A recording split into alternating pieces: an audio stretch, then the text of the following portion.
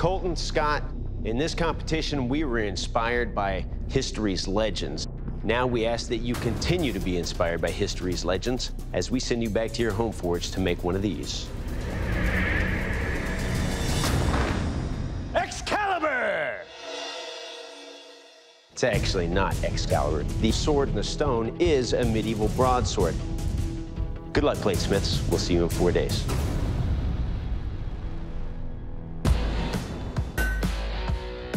Today, I'm making a European broadsword. I'm going to do two types of twisted Damascus going opposite directions and a linear bar for the center. I am very happy to be back home.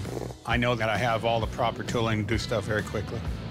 But I think it's going to be a very challenging competition. It's the end of day one. I got the uh, twisted Damascus done. I've got to cut them to size and then clean up the edges that I'm going to re-weld. That's where it's at right now.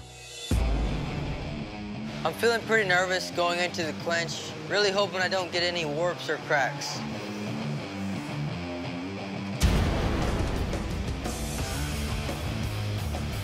Oh, it's taking a warp.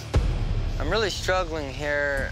I'm bending it, seeing if it will straighten. I'm heating it up with a torch and trying to drop water droplets on it to see if I can set it back into shape.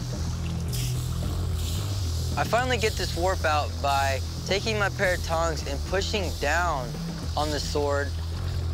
That straightened it out a little bit. Trying to fix the warp really set me back, but tomorrow I'm going to come in with a fresh mind and see what I can get done.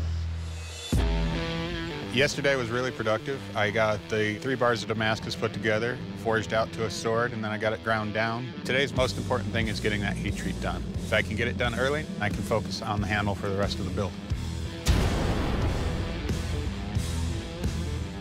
It's pretty straight, and it definitely heat treated. I'm just gonna clamp it while it cools.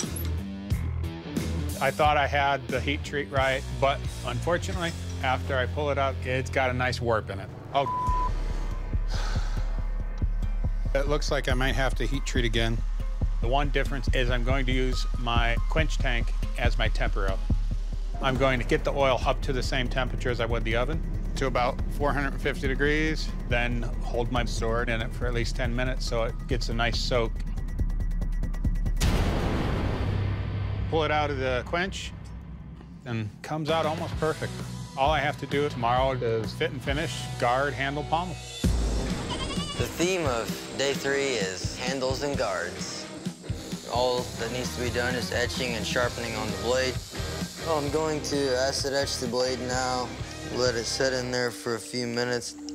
So the top of the blade is not hardened as much as I would like it to be. I want to make sure that it's not going to take a bend or a set. It seems to have held up pretty well. So the last thing I need to do is the handle.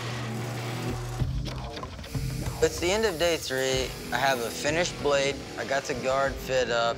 The handle's shaped like I want it. All I have left to do is the pommel, and then it's done.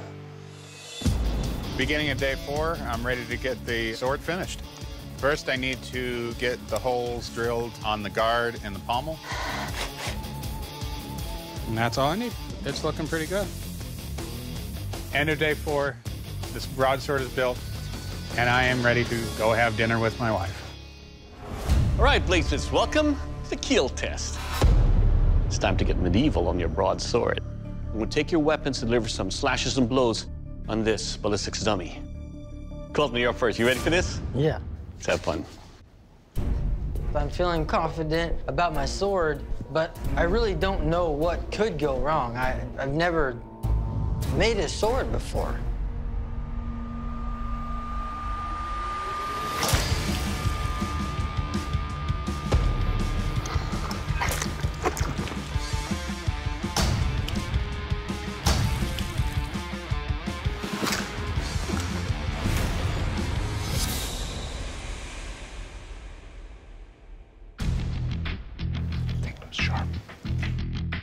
All right, Colton. First up, I really appreciate the balance you have with this because it's easy to wield with forward slashes, backhands, and thrusting with it. Your edge is sharp. Now, your handle, it's just a little bit too tall for me in the sense of it's a wider here, but I can still get a good grip on it.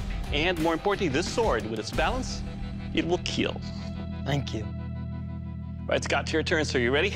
Yes, sir. Let's do this. I'm ecstatic to see Doug playing with my sword because it's exciting to see what it can do to the human body, what it's built for.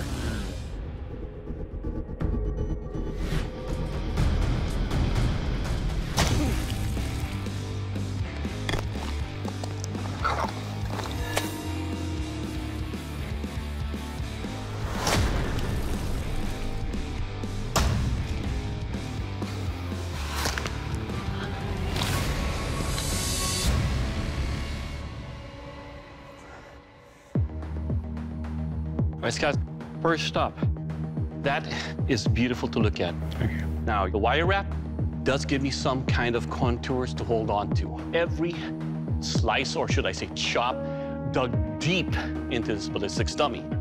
Overall, the kind of weapon and damage you can do with this, it will kill. Thank you. All right, gentlemen, it's time for the strength test. Now, to test the strength and overall construction of your blades, we have the battering ram chop. Colton, you're up first. You ready? All right. Okay. I'm worried that my blade is almost too light. I made this blade for slicing, not chopping trees down.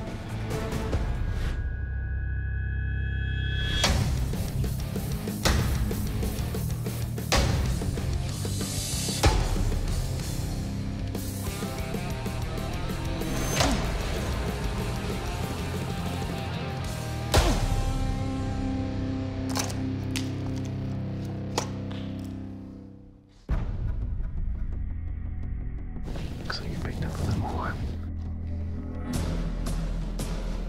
So, Colton, there's some definite issues in the heat treat.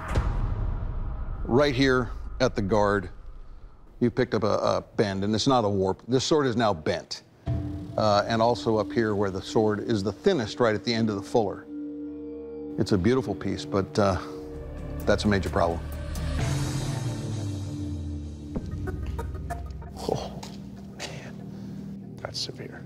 Feel like I could continue testing? I, I wouldn't. I mean, It's like a gun barrel that's already curved. I don't want to, want to fire something like that. If it's that extreme, if it's here, it's one thing, but it's always starts at the handle. yeah, I mean, it's already failed as far as I'm concerned. I'm seeing the judges talking, and it's nerve-wracking.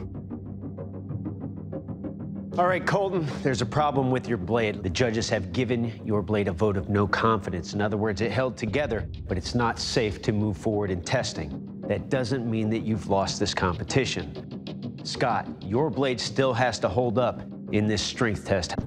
Dave? I am very nervous.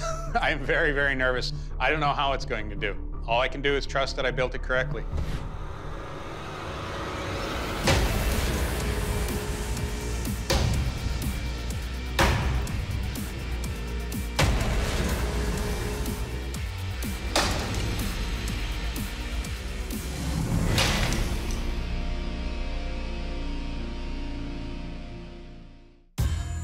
So right off, Scott, everything's solid and tight.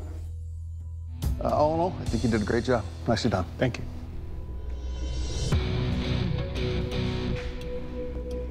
Colton, unfortunately for you, this means that your blade doesn't make the cut and you cannot be the Forged in Fire champion.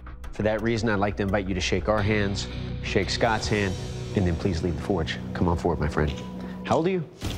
18. Hey, man, the world's yours.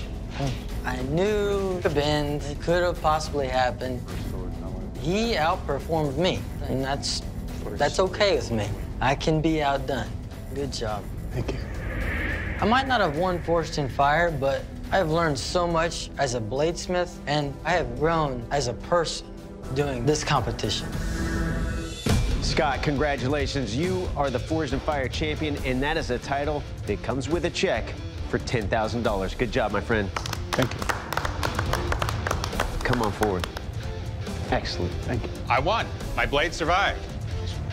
I feel ecstatic, amazed, however you want to say.